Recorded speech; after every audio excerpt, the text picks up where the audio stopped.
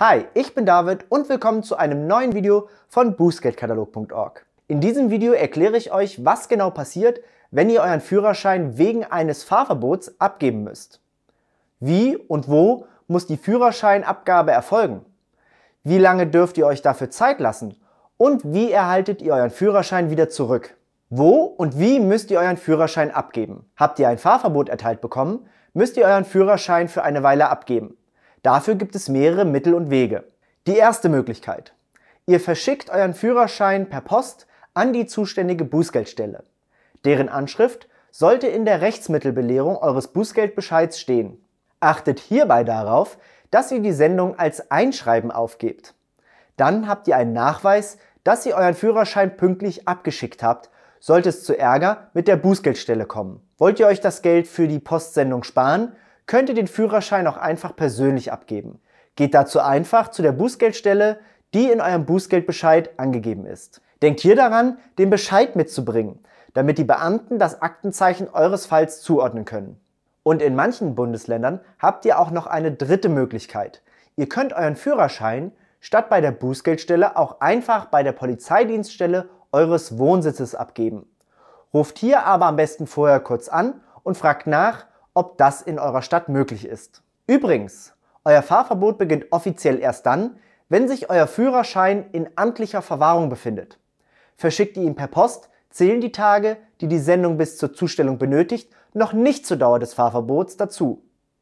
Und das, obwohl ihr in dieser Zeit schon keinen Führerschein mehr habt. Deshalb ist es ratsam, euren Führerschein persönlich abzugeben. Soll euch der Führerschein zu Unrecht entzogen werden, dann solltet ihr Einspruch dagegen einlegen. Wie das geht, erfahrt ihr kostenlos unter bußgeldkatalog.org/einspruch. Den Link findet ihr hier oben oder in der Videobeschreibung. Bis wann müsst ihr den Führerschein abgeben? Zunächst muss der Bußgeldbescheid rechtskräftig werden. Legt ihr keinen Einspruch ein, passiert das automatisch nach zwei Wochen ab dem Zeitpunkt der Zustellung. Nun kommt es darauf an, ob ihr innerhalb der letzten 24 Monate schon einmal ein Fahrverbot erhalten habt. Ist das nicht der Fall, geltet ihr als Ersttäter und das bedeutet, ihr profitiert von der 4-Monats-Regel. Diese Regel besagt, dass ihr euch selbst aussuchen dürft, wann euer Fahrverbot beginnt. Einzige Einschränkung, ihr müsst das Fahrverbot innerhalb von vier Monaten ab Eintritt der Rechtskraft antreten. Gebt euren Führerschein also einfach dann ab, wann es für euch günstig ist. Zum Beispiel während eines Urlaubs, wenn ihr nicht auf euer Auto angewiesen seid. Geltet ihr nicht als Ersttäter, beginnt euer Fahrverbot hingegen ab dem Tag der Rechtskraft.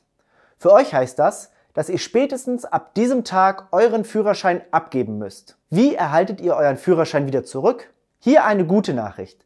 Sobald euer Fahrverbot abgelaufen ist, erhaltet ihr euren Führerschein automatisch zurück.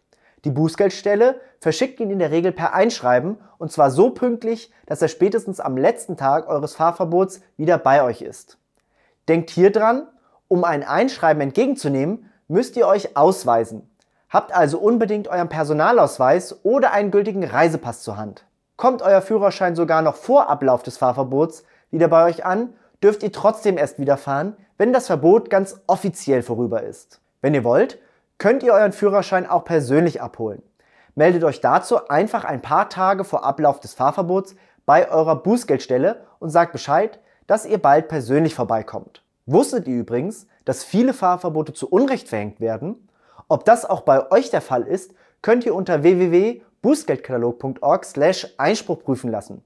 Den Link findet ihr in der Videobeschreibung. Wann musstet ihr zuletzt euren Führerschein abgeben? Erzählt uns davon in den Kommentaren. Und vergesst nicht, dieses Video zu liken und unseren Kanal zu abonnieren. Bis zur nächsten Folge von boostgatekatalog.org.